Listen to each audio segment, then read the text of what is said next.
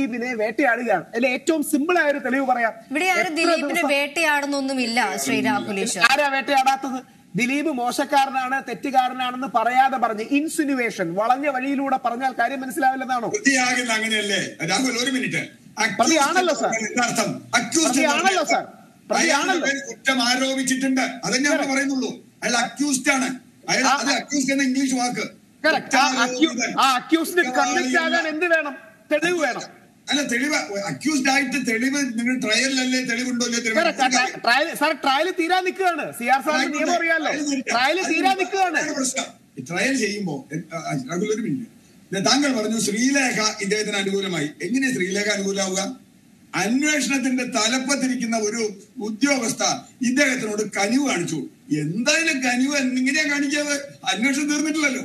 Judge കനിവ് കാണിച്ചു. എങ്ങനെ judge കനിവ് കാണിക്കുക സാർ സാർ എന്താ ശ്രീലേഖ മാഡം കരിവ് കാണിച്ചത്? ഒരു ഡോക്ടറെ വിട്ടു കൊടുത്തതോ? ഒരു ചെവി നോക്കാൻ ഒരു ഡോക്ടറെ വിളിച്ചതാണോ കനിവ് കാണിക്കൽ? നിങ്ങളല്ലേ പറഞ്ഞപ്പോ? താങ്കൾ തന്നെ പറഞ്ഞല്ലോ. ശ്രീലേഖ ഐ പി എസ് ചൂണ്ടിക്കാണിച്ചു. പോലീസുകാർ കള്ളത്തരം ചെയ്യും. ഫോറൻസിക് റിപ്പോർട്ട് മാനിപ്പുലേറ്റ് ചെയ്യും. F S L report manipulate ചെയ്യും. പറയുന്നത് ഡി ജി പി ആണ്. പറയുന്നത് കേരള പോലീസിൽ ഡി ജി പി ആയിരുന്ന ഒരു വ്യക്തിയാണ്. ആ കള്ളത്തരമാണ് ബൈജു പൗലോസ് ചെയ്യുന്നത്. ബൈജു പൗലോസ് ചെയ്ത എത്ര കള്ളങ്ങൾ വെളിച്ചത്തായി.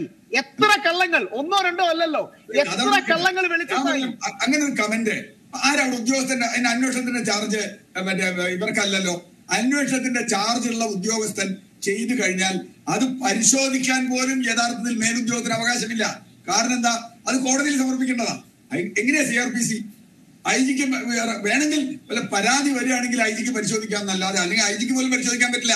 ഒരു ഡിവൈഎസ്പി ആയിട്ട് എടുക്കണമെങ്കിൽ ഡിവൈഎസ്പി ചാർജ് ഷീറ്റ് കൊടുക്കുക. ഐ ജി എല്ലാം ചാർജ് ഷീറ്റ് കൊടുക്കുക.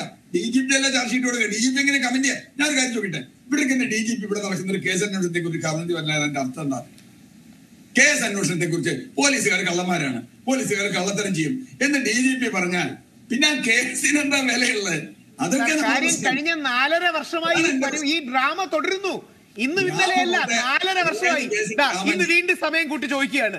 നാളെ അടുത്ത മൂന്ന് മാസം കഴിയുമ്പോൾ വീണ്ടും സമയം നീട്ടി ചോദിക്കും. ഇതിനൊരു? അവസാനം വേണ്ടേ? ഇൻവെസ്റ്റിഗേറ്റർ ഈസ് ദ കിങ് എന്നാണ് സി ആർ പി സി പറയുന്നത് രാഹുൽജി